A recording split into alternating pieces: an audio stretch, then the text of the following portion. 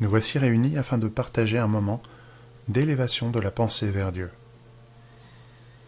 Nous demandons l'autorisation à Dieu de réaliser ce moment avec le concours des bons esprits.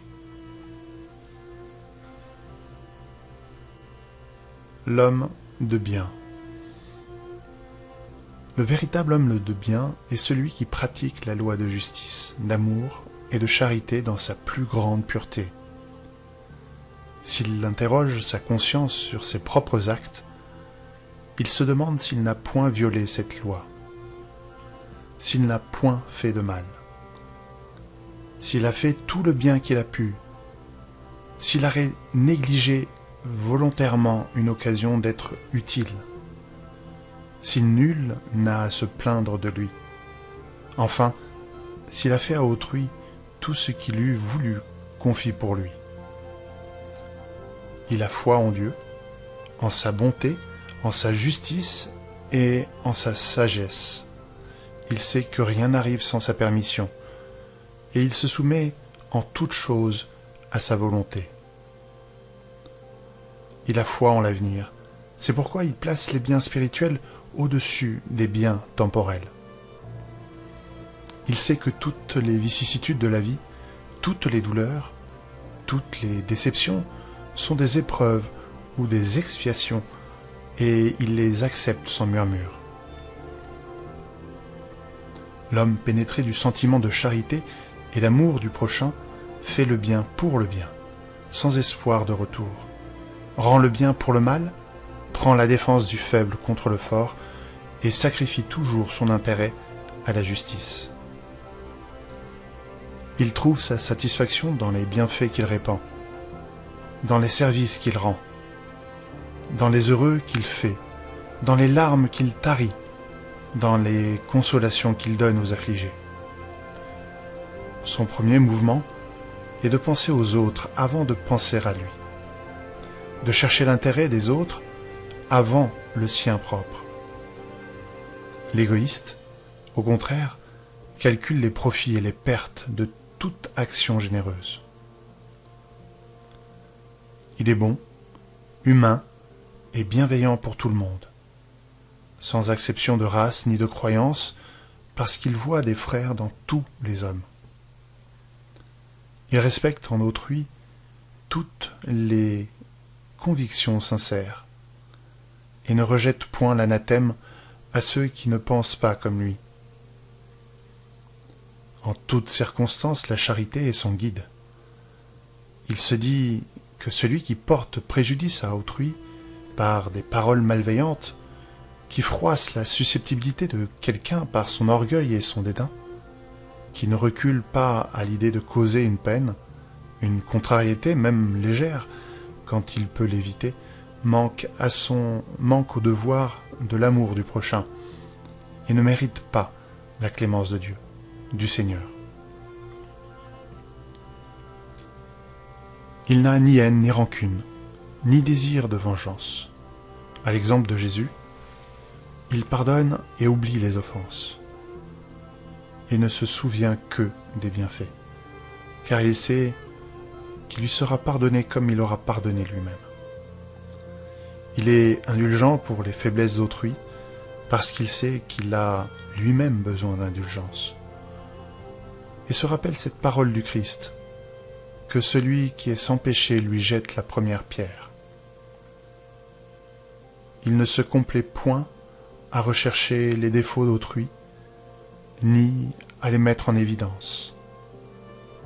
Si la nécessité l'y oblige, il cherche toujours le bien qui peut atténuer le mal. Il étudie ses propres imperfections et travaille sans cesse à les combattre. Tous ses efforts tendent à pouvoir se dire le lendemain qu'il y a en lui quelque chose de mieux que la veille. Il ne cherche à faire valoir ni son esprit, ni ses talents aux dépens d'autrui. Il sait au contraire toutes les occasions de faire ressortir ce qui est à l'avantage des autres. Il ne tire aucune vanité de sa fortune, ni de ses avantages personnels, parce qu'il sait que tout ce qui lui a été donné peut lui être retiré. Il use mais n'abuse point des biens qui lui sont accordés, parce qu'il sait que c'est un dépôt dont il devra rendre, dont il devra compte, et que l'emploi le plus préjudiciable qu'il en puisse faire pour lui-même, c'est de les faire servir à la satisfaction de ses passions. Si l'ordre social a placé des hommes sous sa dépendance, il les traite avec bonté et bienveillance, parce que ce sont des égaux devant Dieu. Il use de son autorité pour relever leur morale, et non pour les écraser de son orgueil. Il évite tout ce qui pourrait rendre leur position subalterne, plus pénible. Le subordonné, de son côté, comprend les devoirs de sa position et se fait un scrupule de les remplir consciencieusement.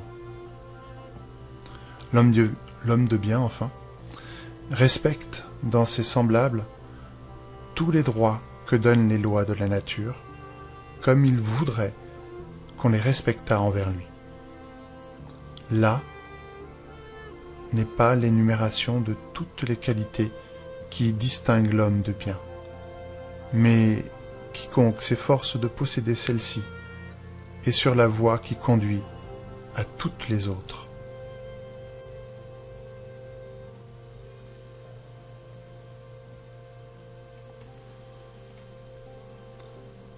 Nous voilà éclairés sur le chemin que nous pouvons emprunter. Face à cette image de perfection, nous nous, sentons bien loin, bien faibles, bien petits. Mais la réalité est que nous pouvons tous nous rendre parfaits devenir parfait. En réalité, nous le serons tous un jour. Il nous importe aujourd'hui de comprendre cela et de nous mettre à la tâche, de commencer aujourd'hui. Commençons là où nous nous trouvons, avec ce que, ce que nous avons, avec notre compréhension du moment. Il est important de comprendre que notre bonne volonté nous mènera à bon port. Et puis, nous sommes bien accompagnés. Tous nous veulent du bien. Tous nous invitent à apprendre la leçon, à révéler ce que nous sommes déjà, à révéler notre vraie nature. Nous sommes un être spirituel avant tout. Nous sommes venus ici faire l'expérience de la matière et gagner en expérience, nous améliorant peu à peu à travers ces différentes euh, époques dans la matière. Alors nous voilà à nouveau ici dans la matière afin de commencer cet apprentissage, de renforcer cet apprentissage ou d'enseigner cet apprentissage. Nous voilà unis les uns et les autres par ce même chemin vers la perfection. Nous pouvons tous nous aider les uns et les autres. Nous pouvons apprendre à ne voir que le bien en nous, en l'autre. Nous pouvons comprendre cela et le mettre en œuvre dès maintenant. Alors, nous sommes imparfaits, oui, mais nous deviendrons parfaits. Nous ne savons pas comment procéder, mais nous voulons y parvenir. Eh bien, disons, Seigneur, je suis loin d'être parfait, mais je veux le devenir. Aide-moi, montre-moi le chemin à emprunter. Permets-moi de m'affranchir de ces impuretés et de rectifier ce qui doit l'être, afin de respecter de façon constante toutes tes lois et d'inviter mes frères à te rejoindre. Que ta volonté soit la mienne et puisse s'exprimer à travers moi. Que je puisse être ce point de lumière dans l'obscurité environnante. Permets-moi d'éclairer, de consoler, d'apaiser. Permets-moi d'amener la joie de vivre là où se trouvent les pleurs, la déception, le doute. Permets-moi d'être ce rayon de soleil qui réfléchit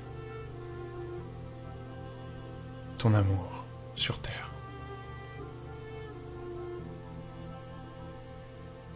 Puissions-nous aujourd'hui, par ce premier pas, ou par cet autre pas,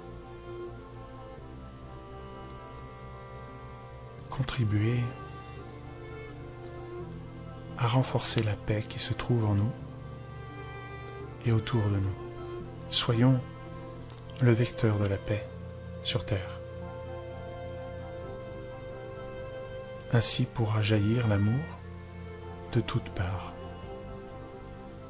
Là où nous allons, là où nous envoyons notre pensée.